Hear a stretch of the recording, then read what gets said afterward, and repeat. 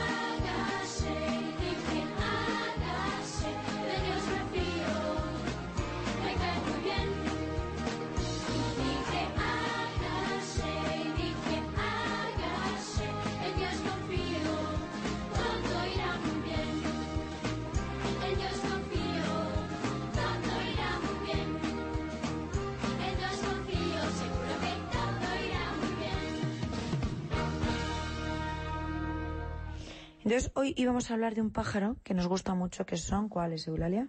Las gaviotas. ¿Y dónde viven las gaviotas? En, en la playa, que pero a veces nos las encontramos en España porque... ¿En España o en Madrid? En Madrid, porque se equivocan un poco. Son un poco tontas. No son un poco tontas, son un poco despistadas. Mira, las gaviotas se las considera aves marinas porque aunque no viven 100% en el mar, están en todas las playas del mundo. Son, además es un ave que está por todo, por el mundo entero comen peces, ¿verdad? Sí, muchos. Son carroñeras, son un poco carroñeras. No les importa que el pez esté vivo o que esté un poco podrido. Pero ¿por qué decimos que a veces son despistadas? Porque nos hemos encontrado gaviotas aquí en Madrid. Porque un, eh, cuando unos barcos se meten en Madrid para poner su barco... ¿Y cómo se mete un barco en Madrid? ¿Qué locura es esa? A ver, en un tipo de camión. Eso es. Eh, se meten... Cuando los barcos que llevan mercancías, esas mercancías están llenas de, gaviotas ahí dormidas. Entonces cogen las mercancías y las ponen en un camión y las, las gaviotas están ahí todas cómodas echando la siesta. Eh, entonces diciendo, estamos en la playa, tiri, tiri, tiri. Entonces eh, luego cuando se despiertan dicen, ¡Oh, estamos en Madrid. Entonces se van otra vez a la playa y así sucesivamente. Así sucesivamente. La cosa es que estas aves tienen las patas como unas membranas para poder nadar, vuelan también, pero a ellas lo que les gusta es que las lleven. Entonces les gusta mucho subirse en los barcos. Es muy típico eh, ver en los barcos grandes, grandes, muchísimas gaviotas. Entonces a veces se despistan, se suben en un barco, en, una, en un barco de estos de mercancías y esos vagones grandes de mercancías se transportan un camión y entonces las puedes ver, por ejemplo, hay muchos mm, muchos almacenes de mercancías de Merckx, conocéis Merckx, que vienen de, barcos transportistas en entre vías, en Vallecas, en Madrid. Y es gracioso porque vas por, por Vallecas o vas por la M30 y de repente dices, uy, pero si eso no es una paloma, eso es una gaviota, ¿qué locura es esta? Entonces, ¿por qué nos ha parecido curioso hablar hoy de las gaviotas? Porque hay veces que nosotros nos dejamos llevar por la vida y, te encuentras en unas situaciones un poco absurdas y dices, me siento como una gaviota en Madrid. pues un poco despistada, que estoy donde no tengo que estar. Entonces hay que decirle a Dios, oye Dios, no, yo no me voy a dejar llevar por la vida, yo me voy a dejar llevar por ti. ¿Yo dónde tengo que estar? ¿Yo soy una gaviota que he nacido para estar en el mar? Pues no me dejes que yo me separe de ti. Porque tú eres como el mar, infinito, inmenso, lleno de, de comida y de alimento y de bienestar para mí. Mi sitio es a tu lado. Pues claro. No, no me puedo despistar por la comodidad. Entonces no permitas que me separe de ti, Dios mío. Pero por eso las gaviotas son un poco despistadas. Eso es. Entonces nosotros no queremos ser como gaviotas despistadas. Nosotros queremos ser como esas gaviotas fieles que no se alejan del mar. Y el mar provee a la gaviota de comida, de diversión, de amor y de todo. ¿Qué es el mar provee? Provee es que te da. Mamá te provee de comida. Pues el mar le provee de comida a las, a las gaviotas. Gaviotas. Exacto.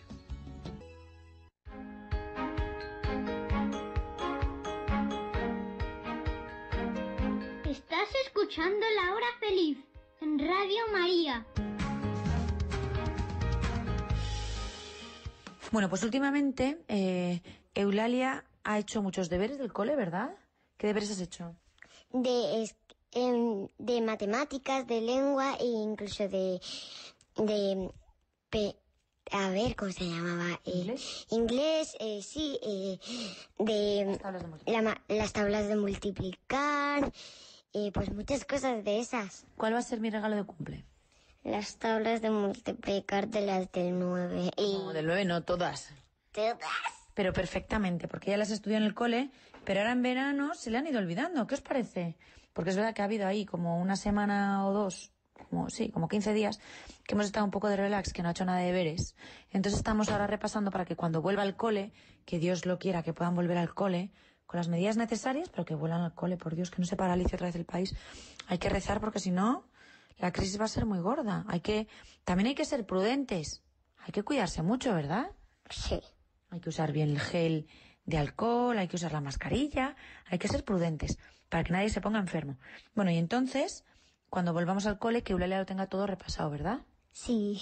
Y ha estado viendo algunas pelis. Ayer vimos una que era un musical de Disney que no os lo recomiendo porque acaba, o sea, de repente a mitad de la película parece que se va a acabar y está todo bien y de repente eh, se llama Underwoods, eh, dentro de lo- del bosque.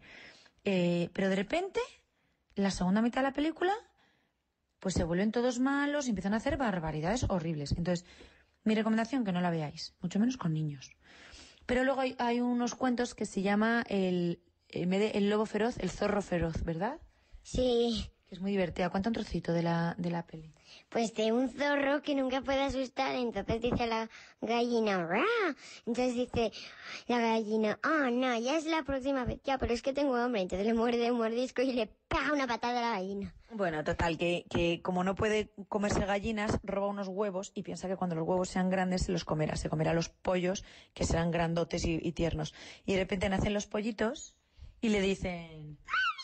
Porque los pollitos lo primero que ven piensan que es su mamá. Entonces van detrás de él, mami, mami, el que no soy tu mami, que yo soy un, un zorro feroz. Y dicen los pollitos, ah, pues entonces nosotros también somos zorros feroces. Dame una gallina, que me voy a comer una gallina. Sí, es verdad. Es súper divertida, es muy tontorrona, pero es muy divertida. A los niños les gusta mucho porque son unos dibujos muy sencillitos. Y bueno, si os parece bien, vamos a pasar al examen de conciencia que ha llegado la hora. ¿Te parece bien, Eulalia? Me parece estupendo.